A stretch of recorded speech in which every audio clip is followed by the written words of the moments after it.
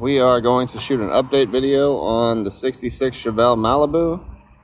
Just kind of show you what we've done so far. You guys remember when I brought her home. Um, full LS. It's the 5.3. It's got a Texas speed cam. All the F-body mounts, spacers, Holley EFI mid-rise intake, MSD ignition wires, um, new steering box, vintage air AC, which is really nice. Wiring's a little sloppy right now. We got to go through and clean some things up. I'm waiting on the hood to get here. Um, I got a 4L60 built transmission, um, aluminum radiator, dual fan. The car's a little dirty right now. Got a BC cup holder. The vintage air's down there. New vents. B&M shifter. I got a new center vent for that. That is the only place I could do the ECU mounts. There's really no room under the dash here, and I didn't want to put it under the hood.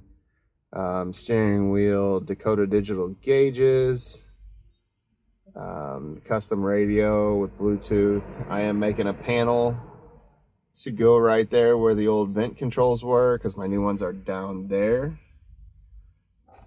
And in that panel, I will have both the dual needle gauges for my air ride setup. We have scrubbed and cleaned the interior. Headliner turned out great. The seats need a little work. I do want to do a, like a 40, 20, 40 split bench.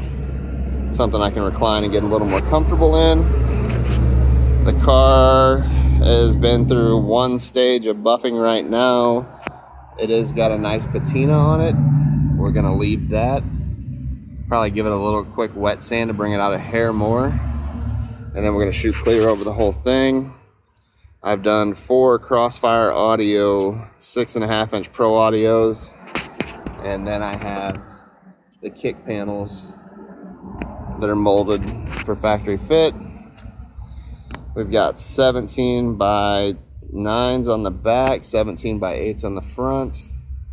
Um, gets pretty good traction. Haven't really played with it a whole lot. It is being tuned still.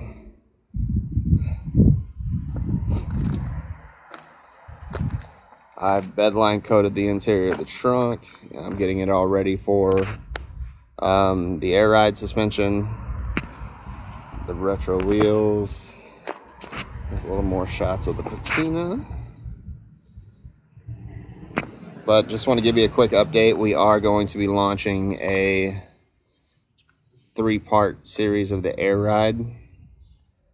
That way we can show you, you know, what comes in the box, how to install it, and kind of how it all works, so on and so forth. Um, all the work was done by me and Jeff Case in Jeff's garage.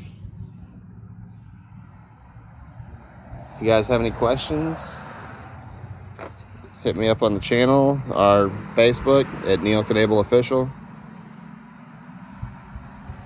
I am waiting for the hood, should be delivered today.